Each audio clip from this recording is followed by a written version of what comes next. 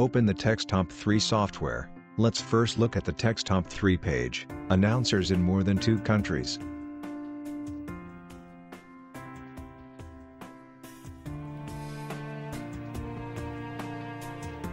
First open the TextHump 3 editor and put the prepared text into the editor. Under the editor you can choose different announcers, background music, and other simple operations.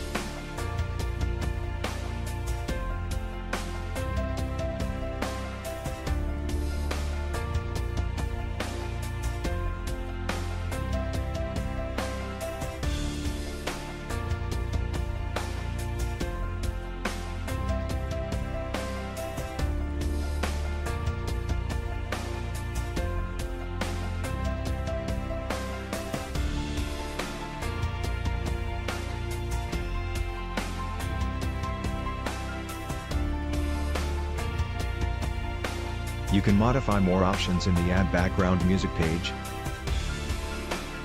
such as changing background music, modifying the number of loops, modifying the volume of the text and the volume of the background music.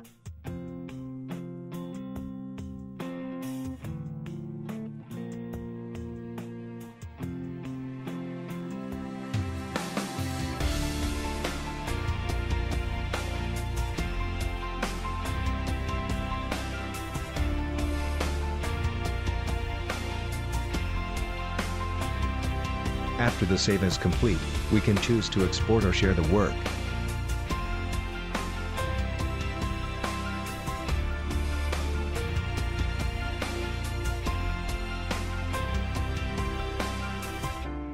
Herring can choose the way you like, such as Facebook, Twitter, etc. Export can choose different ways, mobile phone, computer, or other means,